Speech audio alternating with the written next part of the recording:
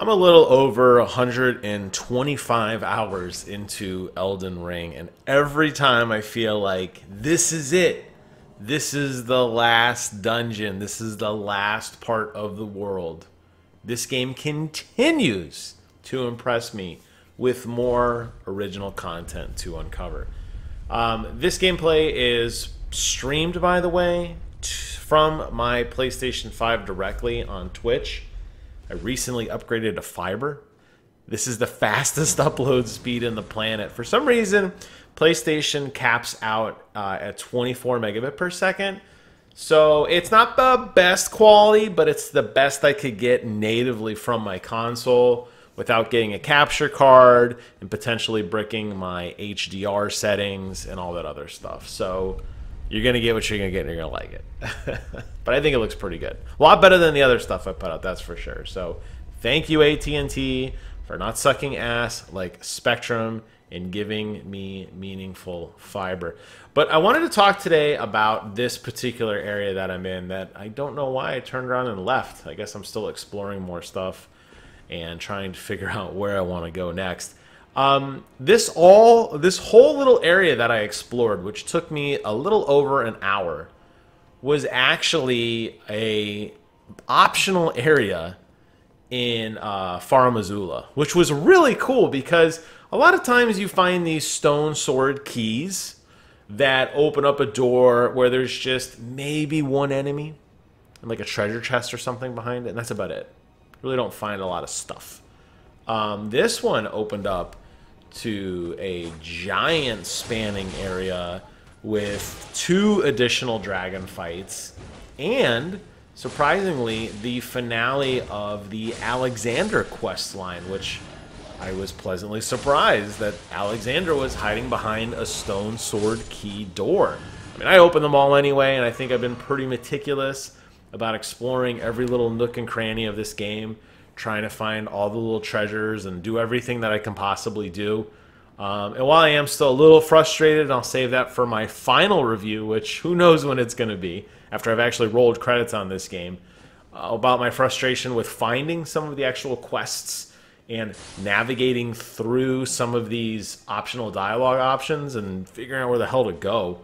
Um, I've got to say, at least on the exploration point, I think I've been pretty on point really navigating through everything and just taking my sweet time, checking every corner, every pot, every door, every everything in order to be successful. And that is what blows me away about this game so much. Whether or not you're a fan of FromSoftware games or the Soulsborne experience, I have spec my character and respect about a dozen times since then actually um, I'm currently now using uh, Rivers of Blood um, in a pure blood build, which I really love. But I'm still using the tried and true uh, katana that I got at the creation of my samurai character. That's still using it in this particular gameplay. This is a uh, maybe a week ago when I captured this. Um, it's a cold. It's a cold Uga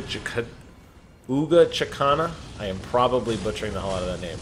We'll just say Ninja Sword. But it's the cold variant with the Chilling Mist uh, Weapon of Art put on there. Uh, I really spent a lot of time leveling up my um, intelligence to get a really nice perk there with some dexterity. And this thing really does rip through enemies, except when I die.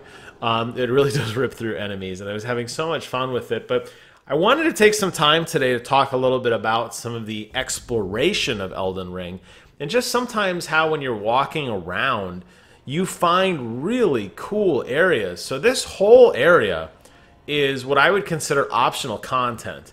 Um, it does not progress into uh, the story, um, other than Alexander is here, which is really cool. Didn't really expect that to happen.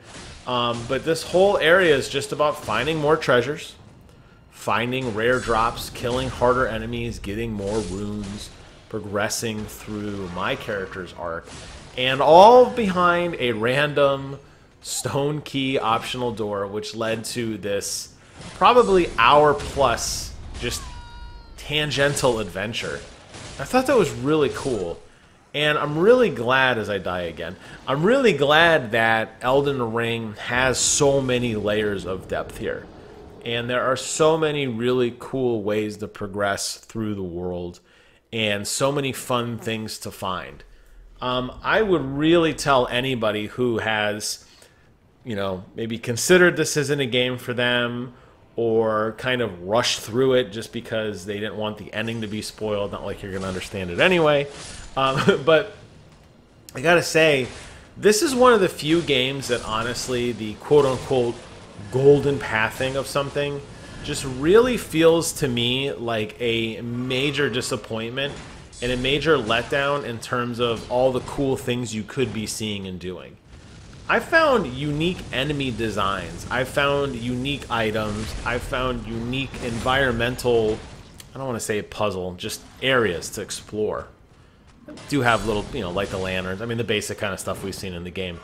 All behind optional areas that were not part of the main game and I was I felt genuinely satisfied for exploring and being rewarded at the end. And I, I really like that. I thought that was really, really cool that the game really kind of rewards you in that sense. And I really struggle to think any other game that has so much optional content that's good stuff. That's not just like a little throwaway quest or a little random item or something like that, but like meaningful pieces of lore and gear. And I, and I really struggle with that, and I can't think of anything. I mean, maybe like an old Final Fantasy game, maybe like Final Fantasy, I don't know, maybe like two, or you know, when you got the ship and you could fly around, maybe you'd find some weird island and there'd be a little optional area to explore in there. But it was really more like it didn't seem like there was whole optional dungeon type things. Maybe you'd find an optional rune Obviously, at the end of Final Fantasy VII, you had the optional weapons that you could combat for an extra challenge, but that was more just like a one-off thing. Like, and you kind of knew where they were. The game's kind of like, oh, here's a really hard boss. After you've done everything, this is where you're to challenge yourself. And after you fight this really hard boss, that's when you're to, you know, like that's kind of the end of the game. But here, I mean, the litany of gear and tech and dungeons and things I found is really cool. And I just can't commend this game enough for figuring out how to really sink time and investment. I have never been this fully invested in a game really that I can think of in a long, long, long time. And I really can't think of a game that every time I played it, I mean, yeah, you're going to get the bullshit deaths that happen all the time. But I mean, I'm holding my own here. I'll do a little back. You know, I, I, did get smoked a few times by those harder skeleton monsters, but I figured it out and I moved on, and now I'm into the next pack. And yes, combat is punishing, and yes, I am playing a melee build, and maybe magic's better. Maybe had I had my River of Blood build now, I would have had a better chance because these guys do hit really hard. It's hard to say. Everybody plays differently and you know the you know the adage get good i mean i'm 120 hours in like i think i'm as good as i could get. Maybe i'm missing something i don't know. But my point is um, it's just really rewarding to have different options of exploration available to you. Um, this whole thing you're seeing everything you're seeing here all this architecture all these enemy types everything this is just bonus just bonus. It's really cool. So I want to commend Elden Ring and talk a little bit about that and just say that, you know, I appreciate it. You know, I remember when the world was going into a very, very heavy online world of multiplayer. Companies' eyes got really big when they heard of online only. I always talk about that, you know, the design choice with the Xbox One, where they were going to be always online under Don Mattrick, and how much that frustrated me we saw a lot of games starting to go on that push, especially at the launch of Overwatch and some of these other online services. And it was Bethesda of all people, good old Bethesda, who kind of came out and said single player games are not dead. We are not giving up on single player games. Um, we are releasing all of our games still for single player. I believe at the time it was a Wolfenstein game that had just come out. Uh, it might have been the remaster, like the redo of Wolfenstein. It might have been around that era. Um, but Bethesda, of all people, came out and said, no, we are not abandoning single player games. And I think there was a strong, strong push there for a very long time to do that. And boy, am I glad they didn't. And I feel like this is a culmination of that message of just like, yes, you can play multiplayer. You could summon in your buddies to play with you. They'll be like a ghost. You can go haunt other people's worlds or uh, wear the defender ring and go defend other people's worlds. I have turned all that off. I don't want to be bothered. I just want to fight the game, which is plenty hard, but um, a very robust, dense experience that really feels good.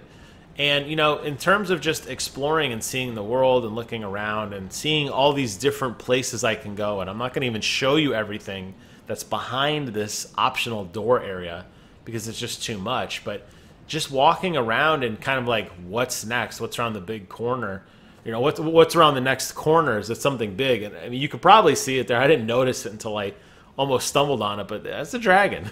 that's a dragon just laying there waiting, an optional basically a boss. I mean, I I don't think technically the game defines it as a boss, but uh, yeah, he's a big guy, and I'm like, well, I'm thinking about it. When you kind of go this way, the game. I mean, I guess you could quick travel, but you're stuck. that that lip is kind of a one way street, buddy. So uh, you know, get swinging. Um, thankfully, I, I did destroy him on the first try, and that's where I'll wrap up this video. But you miss out on so much stuff because of not exploring and just love uh, yet another love letter on my channel to one of the greatest games I've ever played. Just some really cool mechanics in play here and a really fun battle that I think a lot of people will probably not get to because they just want to beat the game. It's like, oh, I'm done. I don't want to play this anymore. And I would just say, don't rush. Take your time. This game's been out a very long time. It's not going anywhere. Yes, your backlog will grow. Yes, you'll miss out on some of the other cool things that may be going on right now, but this is such a reward in itself. And I feel like the combat here is just so crisp and so beautiful, and I can't say enough wonderful things about it. So, um, to all my friends who have not yet played Elden Ring, who think that, you know, um, this isn't for them, or you know, you kind of know what you think this game is about. I would challenge you and say, I don't think you do. And I would say that the, the level of satisfaction you get for fighting and beating these enemies, these larger than life monstrosities, who, by the way, you find totally optionally for exploring, is such a high. It's, I mean, like winning chick. It's like winning a Warzone match, but like on steroids. Uh, and it's so cool, so rewarding. So yet another video, yet another love letter to Elden Ring. Um, I really think I'm, I'm in the home stretch now. Maybe not, I don't know. Um, but I, I, was doing some content last night, and everybody's like, "Oh, we're getting to the end. You're in the optional area. Option, you know, I don't know. We'll see. It's over when it's over. I wish it would never end, but I know one day, you know, all good things, right? Just like this dragon, all good things. There you go. Thank you all so much for watching. Um, hope you found this video inspirational. Play Elden Ring. Thank you all. So I already said that. Take care of yourselves, all right? And until next time, I will see you guys on the other side.